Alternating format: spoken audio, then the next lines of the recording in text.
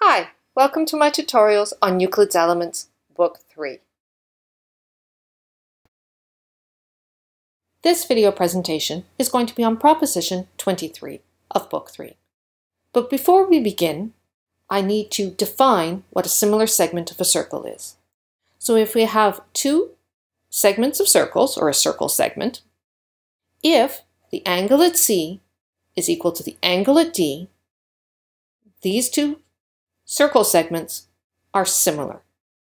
That doesn't imply that they're equal, just that they are similar.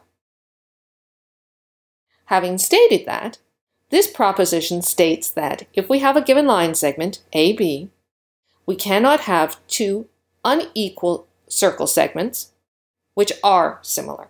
So in other words, C and D cannot be equal because that would imply these two segments of circles are similar.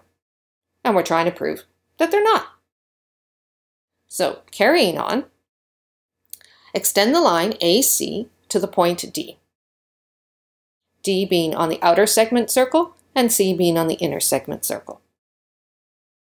If we look at our triangle CDB, according to Proposition 16 of Book 1, the exterior of any triangle, exterior angle of any triangle, is always larger than the opposite and interior angle. So gamma is bigger than delta. Gamma is larger than delta. Now, if gamma is larger than delta, they cannot both be equal because they cannot be both larger than and equal to simultaneously. So if the angles at C and D are not equal to each other, these two segments, circle segments, are not similar. Thus, we have demonstrated that we have two unequal line segment, circle segments. Unequal circle segments cannot be similar. In other words, C and D cannot be the same angle.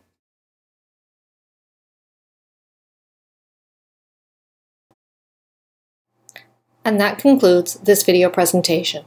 To see the next presentation, just click the next button.